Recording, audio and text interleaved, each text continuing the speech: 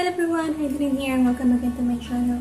So for today's video, ay review natin uh, itong Maybelline Dream Satin.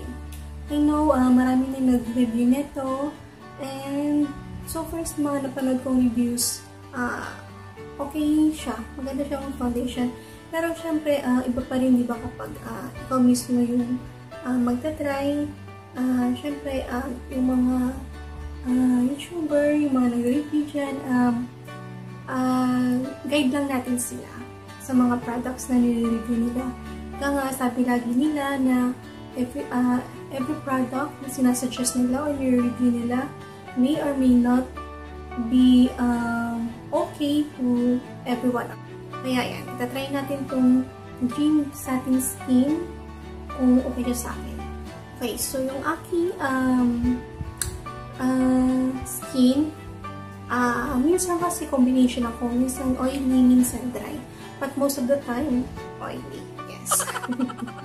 so, yun. So, ito, nabili ko siya sa uh, Landmark Trinoma kasi sale sa Maybelline. 25% off ata yan. Uh, originally, for 199 pesos siya. 199 pesos siya. And then, dahil uh, sale siya, naging 300 74.25 na lang siya. So, yung shade ko is, dito? B4. Ayan. Maybelline New York Dream Satin Skin SPF 24 PA+++.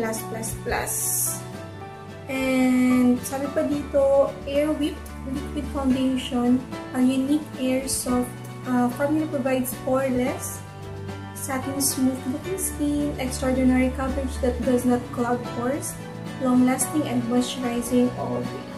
So this one is 30 ml. So tingnan natin kung hindi niya talaga may emphasize ang aking pores. Yes. Kung pores lang ang labanan, eh baka panalo tayo. So yun, kusa na natin. So shake siya. And, o nga pala, uh, tawag dito, ang nilagay ko lang sa mukha ko is moisturizer from I White Beauty. Yun ang nilagay ko. Wala akong nilagay na primer kasi wala naman akong available na primer right now.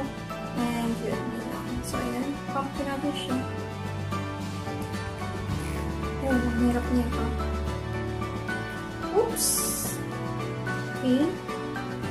So, yung texture niya is medyo um, watery siya. Hindi siya thick. Oh, kasi yung natin niya. Pag niya ko. Pero hindi siya as in ganun ka uh, watery or liquidy. Saktuhan lang. Then yung amoy niya. Hindi ko maintindihan yung amoy. Hindi ko alam kung hindi ko alam amoy ng condition. I don't know. So, ayun. So, gagamit tayo ng ating, ito, fat brush from artist uh, from artist uh, studio hindi ako masyadong gumagamit ng ng sponge kasi meron ako dyan yung sa Daiso. So kasi ano dito ang lakas makaano ka-absorb ng product na hihinayang ako. Kaya usually or most of the time ang ginagamit ko uh, brush talaga. So yeah. so lagyan natin siya sa akin half lang naman. Kung makita. Meron pang bulak Tatap lang muna natin siya.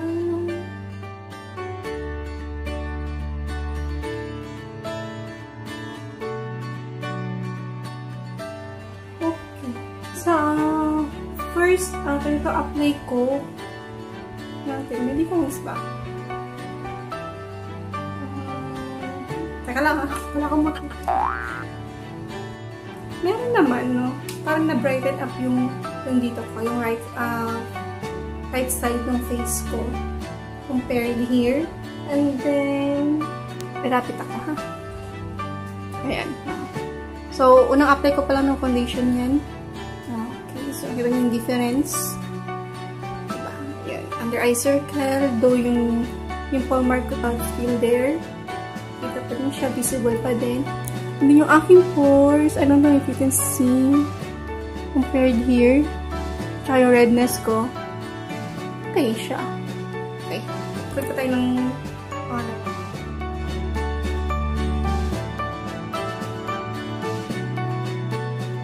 Okay, sa foundation na ito, malamit siya sa ano. Magamit siya sa face. Parang parang sila ng ano. Ng... Ng Ivory Korea, ng moisturizer. Pag nalagay mo sa mukha ko.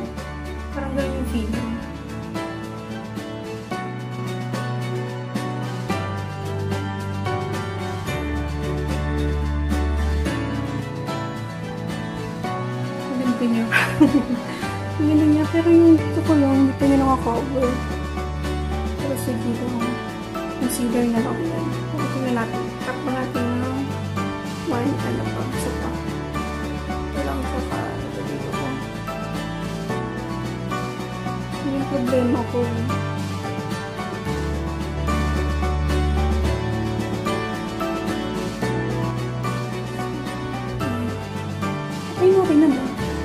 Hindi naman siya asing ganun ka-visible na rin yung aking pimple mark tsaka ito dito ko. Kung ano nangyari dyan. Basta yan. And yung aking ano, ano, dar, at ano to, eye bulbs. Compared here. O, oh, di ba okay na rin.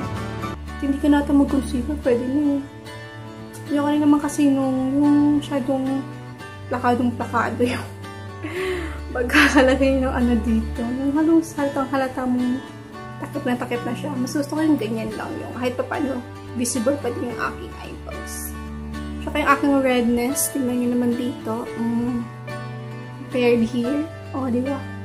Oh my God! Hmm. Fairness. Yung feeling siya parang medyo ano siya, no? Hindi siya ganoong matte. Hindi siya matte. Tama? Hindi na clinging na matte siya. So, satin, uh, satin smooth look lang naman yung sinabi doon. Kaya, makikita niyo medyo makikita kang uh, shyness. Yes. Yan. Hmm. Pero carry na rin. Okay, tapos lalagyan ko lang yung kabilang side ng aking face. So, ayan. Nilagyan ko na pati yung kabilang uh, side ng mukha ko. And, yung kanyang look. Finish look niya. And, so far, nagugustuhan ko siya. Though, yung aking, kasi mas malaki ano yung pore ko dito, yung mga pores ko. Mas buka. Oo, mas open-open siya. And, pansin ko lang, medyo nakikita ko siya. Parang medyo na, ayan o. Kita niyo ba? Ayan o. Parang medyo na-emphasize niya ng konti yung pores. Ayan, ayan o. Oh, ayan, di ba nakikita niyo? Ayan yung pores ko. So, siguro, baka nga dapat, tawag ito, magpa-primer muna talaga tayo. Hindi pa kasi ako, do may training na ako before, pero ewan ko lang. Ganun talaga kapag, alam niyo, paedad na. yes. Mas nagiging visible na talaga doon yung mga pores natin pag ganun. So, ayan siya. Pero sige, kahit at, test natin siya. Ito lang naman so far yung aking medyo mako-comment. So, gawin ko lang yung aking makeup. First na makeup, gawin ko lang. And then, Okay, so, ayan. Nalagyan ko na yung aking foundation. Uh, the rest of my makeup, nalagyan ko na. Shadow, lipstick, and everything. Parang itim ko tignan. Masilip na ata ako. Ano Dahil na lang ko din ko leeg ko. Nalagyan ko rin naman yung leeg ko. Parang ang tan ko tignan hindi talaga nababawas ko ngayon sa mga makeup ko. Kahit yung Shawil, putlain sa akin na kasi medyo pink undertone yun. Pero parang nagiging gigito na rin siya. I don't know why. Anyway, so balikan ko kayo kung uh, tawag dito, kung long lasting nga talaga siya, katulad ng sinabi dito.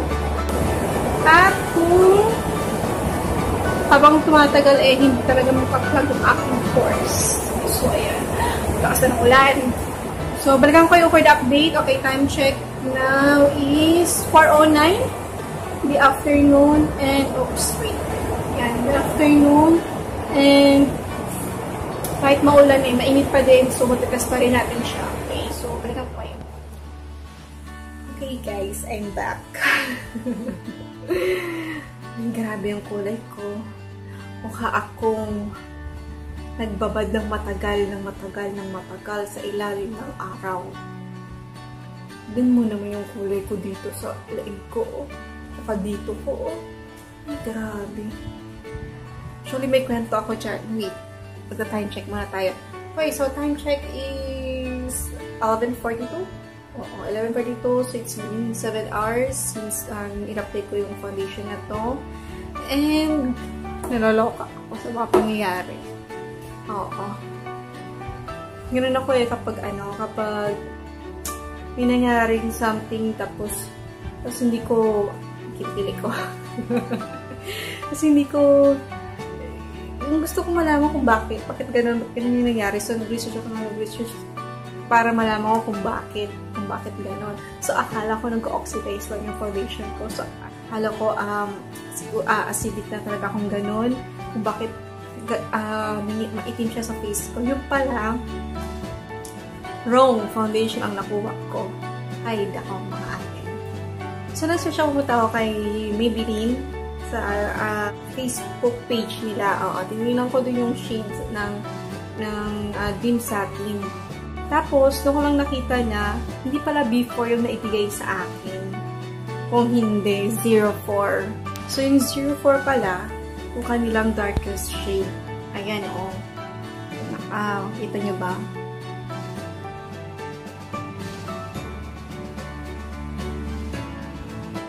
siguro hindi, hindi na rin napansin siguro ni ate sales lady kasi yung tag price niya is yung bagong uh, tag price natatakpan itong shade. Kaya pala nung hinahanap ko yung shade niya kasi di ba usually sa mga foundation ang nakalagay yung shade it's either nasa likod or nasa ilalim ng uh, lalagyanan. Tapos sabi ko at wala. Yung pala ano ito yung sa harapan at natatakpan lang siya nung yung tag price. Pero yung nung uh, swatch ko naman siya doon, so, sa mga sample, okay, tama naman yung nakuha ko doon, B3 tsaka B4, baka yung, yung pinagpipilian ko. Siguro ngayon pagkuha lang ni ate mali, tapos ako naman kung sila karet. Hindi naman din chinek. Ay, naku, kaya pala sabi ko, may itim-itim na parang, ito akala ko, ang bilis naman yun mag-oxidize or yung effect ng pagiging acidic ko na ba? Or what? Ganun. Pala, iba na yung shade niya. Gusto ko. Naku. Kung kailan naman ang taong nakabili na ako ako sale pa. At saka paligkamali ng sa akin. Hindi naman na maibalik din. Siyempre, wala na yung, kailan ko ba nabili yan? Nung may pa ata. Yan, nakatapusan ata nung ko siya nabili. Gawin ko na lang. Baka, mabuti na lang, uh, mayroon ako dyang uh, powder na medyo maputi naman sa akin. So, baka pwede silang ipag, uh, pag-match or oo. So, ng combination silang dalawa para mag, mag ganito, maging equal yung kulay niya sa mukha ko. So, titignan natin yan. So, ayun. Kaya, so, check-check. Oo, check-check muna ng nabili dahil alam mo na, mahirap, mahirap, mahirap ibalik agad yan kapag nawala na yung resibo. So, ayun. So, anyway, back tayo dun sa aking uh, review. So, pag gusto ko yung foundation niya, yun nga lang, ayan, after 7 hours, oily na siya. Though, hindi pa siya patchy. Hindi siya nag, nag, nag ito, nag, namumuumuo. Di ba merong pag nagtagal, namumuumuo na at the same time, uh, oily na. This one, hindi. Oily lang siya. Yun lang, oily lang siya. And then, yung sa pores, medyo napapansin ko kasi, ayun o, yung dito ko.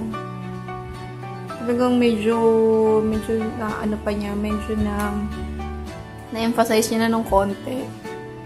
Konti pa lang, konti lang naman. Pero carry pa naman, pwede pa naman ma-retouch yan. So, mag-block tayo ng, ng tissue. Tignan natin kung carry lang siya. I-block so, ayan, lang natin siya ng tissue. Tignan natin kung white tissue lang carry na kahit wala ng powder, yung pag-retouch. So, may ganun naman eh. Black wala ng tissue, hindi. Pwede na. Bakas akong blotting paper. So, ayan. Kaya naman siya ng tissue lang. Black mo lang ng tissue. Oh, ayan na. So, balik na kagad sa dati. So, syempre, uh, parang iba pa din kung powder after natin mag-blot din, mag-powder tayo para mas fresh, mas fresh uh, yung tignan siya. So, ayan yung transfer niya sa aking tissue. So, okay lang. Sakto lang naman. And then, uh, nag-picture din pala ako flash. Pakita ko na lang sa inyo.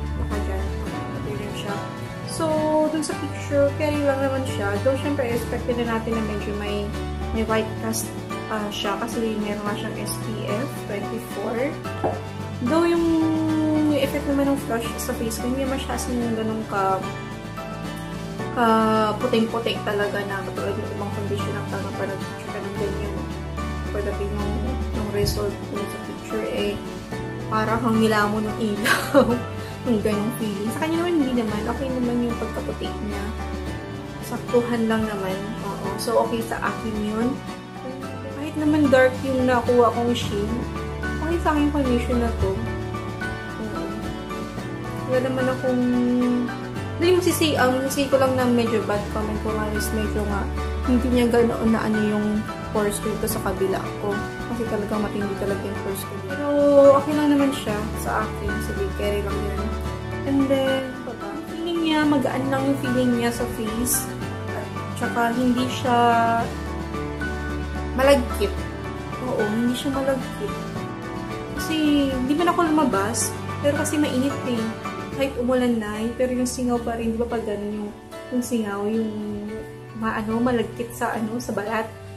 At the same time, kung may foundation ka pa, dilas na lang mas malagkit yung feeling mo, di ba? But this one, um, hindi siya um, malagkit yung feeling sa face. And then, thumbs up sa akin yung foundation na to. Uh, maganda talaga siya. Agree ako dun sa mga YouTuber na nag-review sa kanya na maganda yung foundation na to for oily skin din. Though, pinagtagal nga talaga, medyo nag-oil up na siya sa akin. Pero, tolerable naman pag yung ano niya. Yung pag-oil up niya. Kasi yun nga, black, black lang ako ng tissue din. Ayan, oh, okay na, okay na agad siya. Ayan. So, okay siya sa akin. Go, uh, kuha kayo ng foundation na yan. See it for yourself. Okay, so, papadin yung, ah, uh, titest nyo siya sa inyo yung aking uh, review or say sa product na to sa Maybelline Dream Satin uh, liquid uh, dito sa Maybelline Dream Satin Skin na liquid foundation nila watching and don't forget to like this video if okay yung pag-review ko if nakatulong ba ako sa inyo. And also don't forget to subscribe to my channel. And that's it for today see you in the next video. Bye bye